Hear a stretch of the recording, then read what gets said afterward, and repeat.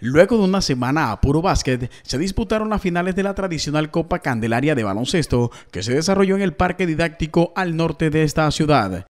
El torneo, que se disputó en el marco de la fiesta del barrio Candelaria Norte, dejó cinco campeones en la octava edición. En la categoría infantil masculino, Revelación se impuso al colegio bilingüe con marcador de 55-12.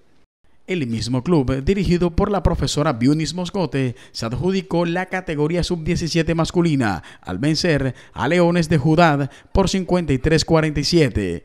La abierta femenina se la ganó Jóvenes Talento, que derrotó en una electrizante final a Team.